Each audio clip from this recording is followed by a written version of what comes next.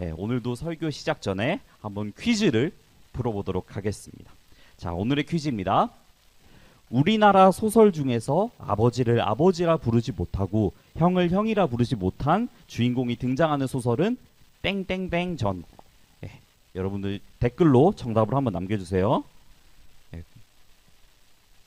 여러분들 예, 한번 기다려 볼게요. 댓글로 빠르게 정답을 남겨주세요. 어 벌써 등장했나요? 어, 왜 제 핸드폰, 오, 바로, 예. 예, 정답을 맞춰줬어요. 예, 맞아요. 오늘 정답은 바로 홍길동전이었어요.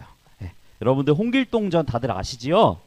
예, 양반인 아버지와 노비인 어머니 사이에서 태어나서 아버지를 아버지라 부르지 못하고 형을 형이라 부르지 못하는 홍길동의 이야기를 한 번도 못 들어본 친구들은 거의 없을 거예요. 어릴 적부터 영웅이 될 만한 인물이라고 불릴 정도로 뛰어난 능력을 보였지만 천한 신분 때문에 벼슬길에 나아갈 수도 없고 심지어 다른 가족들이 자기를 죽이려고 하는 이야기 등 뭐 이외에도 활빈당을 만들어서 못된 관리들을 혼내주고 가난한 사람들을 도와주는 홍길동전 뭐 앞으로 여러분들 중학교 고등학교 올라가서도 시험 문제에 한 번쯤은 꼭 나오니까 한번 여러분들이 읽어봤으면 좋겠어요. 어쨌든 여러분 오늘 말씀에서도 이러한 홍길동과 굉장히 비슷한 일을 겪은 인물이 한 명 등장해요. 마치 홍길동전의 이스라엘 버전이라고 할 수 있을 만큼 오늘 말씀 속에서도 능력 있고 큰 용사라고 불리는 사람이 있지만 천한 출신 때문에 아버지를 아버지라 부르지 못하고 형을 형이라 부르지 못하는 인물이 한 명 등장해요. 우리 그 사람이 누구인지 한번 알아가 보도록 할까요? 예. 여러분, 우리가 성경학교 이후로 계속해서 사사기 말씀을 공부하고 있어요. 전사님이 사사기 말씀은 어떤 내용이라고 했지요? 예, 계속 반복하고 있는데 이제는 알아야 돼요. 예, 하나님을 기억하지 않는 이스라엘 백성들이 죄를 짓고 하나님이 사사를 보내셔서 그들을 또 구원하시는 내용이 반복해서 나오는 말씀이 바로 사사기 말씀이라고 했어요. 당연히 오늘 이야기도 그런 이야기 중에 하나예요. 여러분, 오늘 말씀의 주인공이 등장하기 전에 이스라엘 백성들은 다시 또 하나님 앞에 죄를 저질러요. 하나님을 섬기지 않고 바알이라는 다른 신을 섬기며 자기의 생각대로 사는 죄를 다시 또 하나님 앞에 저지르게 된 것이에요. 한두 번도 아니고 참 심각하죠. 네. 그래서 이스라엘 백성들은 이번에는 블레셋과 암몬이라는 민족으로부터 고, 고통을 받게 돼요. 무려 18년 동안 지배를 받게 돼요. 그런데 그렇게 고통받는 이스라엘 백성들을 하나님께서 또 그냥 내버려 두실 수 없으시잖아요.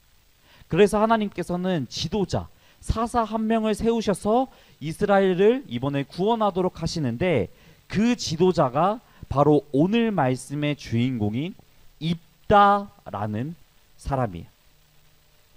여러분, 그런데 입다를 보면 이전에 나온 기드온이나 온니엘 같은 사사들과는 다른 특별한 점이 하나 있어요. 다 같이 오늘 말씀 사사기 11장 1절 말씀 앞부분을 한번 읽어보도록 할까요? 시작. 길르아 사람 입다는 큰 용사였으니 아멘. 네, 다른 사사들과는 다르게 성경에서는 맨 처음부터 입다를 큰 용사라고 소개해요.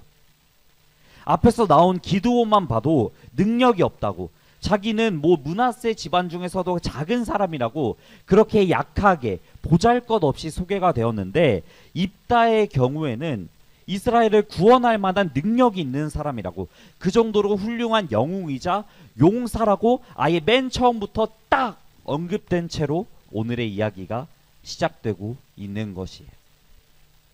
그런데 여러분 이렇게 큰 용사인 입다에게도 하나의 콤플렉스가 있었어요. 그것은 바로 기생의 아들이라는 꼬리표예요. 아까 맨 처음 나온 홍길동과 비슷하게 천한 기생 신분의 어머니에게서 태어나서 아버지를 아버지라 부르지 못하고 형을 형이라고 부르지 못하는 사람 중에 하나였어요. 아니 입다의 경우에는 홍길동보다 더 심각했어요. 홍길동은 그래도 홍길동전을 이렇게 쭉 읽다 보면은 아버지인 홍판서가 홍길동과 어머니를 그래도 사랑해 주는데 보살펴 주는데 가족 중에서 어느 하나 나를 사랑해 주고 보- 가족이라고 받아주는 사람이 입다에게는 없었던 것이에요. 뭐 다른 콤플렉스 같으면은 노력해서 바꿀 수라도 있지. 기생의 아들로 태어난 콤플렉스는 바꿀 수도 없어요. 항상 기생의 아들이라는 그 꼬리표가 지독하게도 입다를 괴롭히고 항상 입다의 뒤를 따라다녔던 것이에요. 그렇게 여러분 입다는 기생의 아들로 태어난 죄로 형제들로부터 쫓겨나게 돼요. 도비라는 이방 민족들이 사는 낯선 땅으로 쫓겨나게 돼요. 여러분, 쫓겨난 그 도비라는 땅에서 입다가 얼마나 비참했을까요? 우리가 읽는 성경에는 3절 읽어보면 이에 입다가 그의 형제들을 피하여 돕 땅에 거주함에 잡류가 그에게로 모여와서 그와 함께 출입하였더라. 단 한 구절만이 기록되어 있지만 이 한 절 속에는 말할 수 없는 좌절과 탄식이 입다의 마음 가운데 분명히 있었을 것이.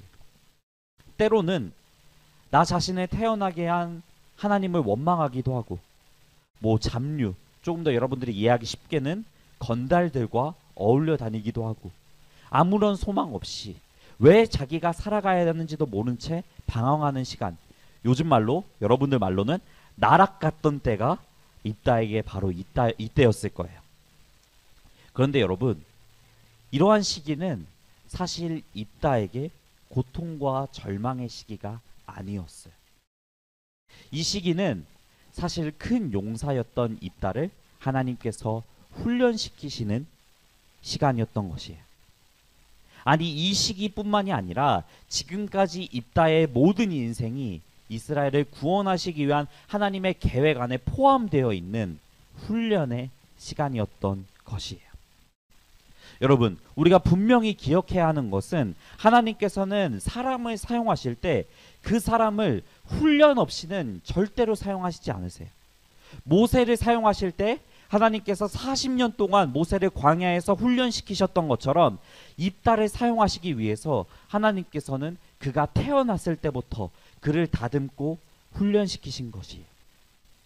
그렇게 하나님의 훈련을 훈련의 시간을 입다는 악착같이 버텼고 마침내 그가 하나님의 쓰임을 받을 때가 찾아오게 돼요. 이스라엘 백성들이 암몬 사람들로부터 벗어나기 위해서 전쟁을 해야 하는 상황이 발생한 것이에요. 여러분, 오늘 말씀 1절에 입다가 어떤 사람이라고 말했지요? 예, 큰 용사라고 전사님이 말했어요.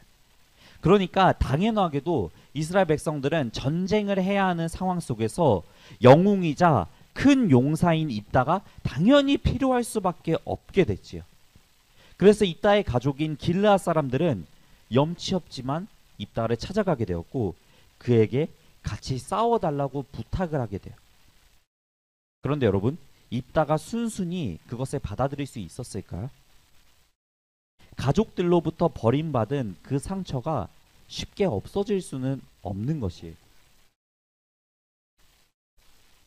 네, 없는 것이에요. 그래서 그는 이렇게 원망 섞인 목소리로 그들에게 말해요. 당신들이 나를 미워해서 내쫓지 아니하였습니까? 어떻게 지금 와서 환란을 당한다고 염치 없이 지금 나에게 이렇게 말합니까? 그러자 가족들이 여러분 이렇게 대답해요. 다 같이 8절 한번 읽어볼까요? 전사님이 현대인의 성경으로 한번 여러분들에게 읽어드릴게요. 우리가 당신을 찾아오게 된 것은 당신이 꼭 필요하기 때문이요. 우리와 함께 가서 암몬 사람들과 싸웁시다. 그러면 당신이 길르앗 사람의 통치자가 될 것이요. 여러분, 길르앗 사람들의 대답이 어떻나요? 예, 당연한 소리지요. 뻔한 대답이지요. 입다에게 전혀 미안한 마음이 안 느껴지는 대답처럼 느껴질 수밖에 없지요. 그런데 여리, 여러분, 여기서 함께라는 표현을 주목해서 봤으면 좋겠어요. 그동안 길르앗 가족 내에서 입다는 함께 할 수 없는 사람이었어요. 함께 무엇을 한다는 것이 상상도 안 될 만큼 역겨운 존재가 그들에게는 입다였어요. 그런데 그랬던 입다 그랬던 그들이 입다에게 이제 함께 하자고 말해요. 너가 우리에게 꼭 필요한 사람이라고 우리와 함께 하자고. 뿐만 아니라 너를 우리의 지도자로 세우겠다고 그들은 하나님 앞에 맹세해요.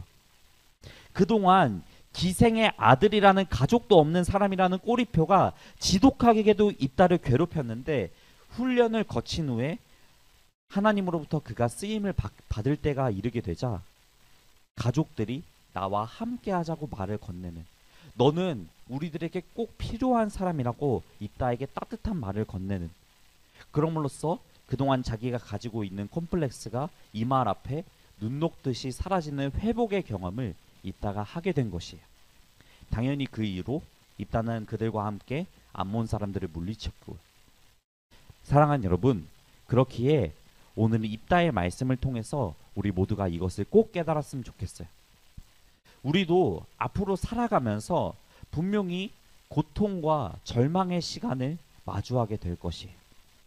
어떤 형식으로 그 시기가 우리에게 찾아올지는 모르겠지만 이미 그 시기를 겪고 있는 친구들도 있겠지만 하지만 여러분 그러한 고통과 절망의 시간은 사실 하나님의 관점에서는 우리를 훈련시키는 시간이라는 것을 우리 모두가 꼭 기억했으면 좋겠어요. 여러분 세계에서 가장 가치가 높은 기업이 어디일까요? 바로 아이폰과 에어팟을 만든 애플이에요. 그런데 여러분 애플을 맨 처음 만든 스티브 잡스가 세계를 바꾸는 사람이라고 그 정도로 대단한 사람이라고 평가받잖아요. 과연 그가 맨 처음부터 이렇게 성공했을까요? 네, 아니요. 라는 답이 느낌상 나와야겠지만 답은 네예요. 워낙 똑똑한 사람이어서 그런지 잡스가 맨 처음부터 애플을 만들었을 때에도 획기, 획기적인 컴퓨터를 만들어서 엄청난 성공을 이루었어요. 컴퓨터가 없으면 안 되는 생사, 세상을 그가 만들었어요. 그런데 그에게도 분명히 절망의 순간이 있었어요. 다른 경쟁하는 회사가 치고 올라오기 시작하면서 자기가 만든 애플 회사에서 그가 쫓겨나게 된 것이에요. 해고당한 것이. 그런데 여러분 이 말은 잡스 스티븐 잡스가 실제로 한 말이에요. 한번 여러분들에게 읽어드릴게요. 돌이켜 보면 그 당시에 애플에서 내가 해고당하고 쫓겨났던 게 내 인생 가장 최고의 일이었다. 이렇게 그가 분명히 말해요. 그가 애플에서 쫓겨남으로 인해서 그는 세상을 바꿀 아이디어에 대해서 폭넓게 고민할 수 있었고 훗날 21세기 인류 최고의 발명품이라고 할 수 있는 스마트폰 시대를 열 수 있게 해준 애플을 전 세계의 최고의 기업으로 만들 수, 만들어줄 수 있게 해준 그 훈련의 시간이 그에게는 쫓겨났던 해고당했던 시간이었던 것이에요. 그렇게 여러분 오늘 우리도 하나님의 훈련을 두려워하지 않았으면 좋겠어요. 우리는 우리가 좌절하며 절망하며 고통받는 시간을 안 좋은 시간, 빨리 지나가야 하는 시간으로 생각할 수 있지만 부족한 나를 하나님께서 사용하시기 위한 훈련의 시간이 훈련의 시간이 나를 다듬는 시간이자 성장시킬 수 있는 축복의 시간임을 여러분들이 꼭 기억했으면 좋겠어요. 여러분, 지금 뉴스를 보면 아프가니스탄이라는 나라를 탈레반이라는 테러 단체가 장악해서 그 땅에 있는 사람들이 고통받고 있어요. 여러분, 우리 모두가 그 땅을 위해서 지금 기도해야 돼요. 특별히 그곳에 있는 하나님의 자녀들을 위해서 어, 마땅히 기도해야 돼요. 그런데 여러분, 전사님이 아프가니스탄 관련 기사를 보다가 이 영상을 발견했어요. 한번 영상을 잠깐 볼까요?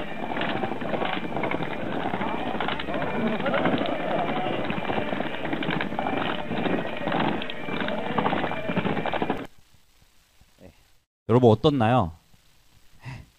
방금 여러분들이 본 영상은 탈레반이라는 테러 단체에 맞서 싸우는 아프가니스탄 군대를 훈련하는 영상이에요. 훈련받는 모습을 보니까 어떤 생각이 드나요? 사랑하는 여러분, 훈련받지 못한 군대는 전쟁에서 패배할 수밖에 없어요. 하나님 앞에 우리가 잘 훈련되지 못한 이런 모습은 아니었으면 좋겠어요.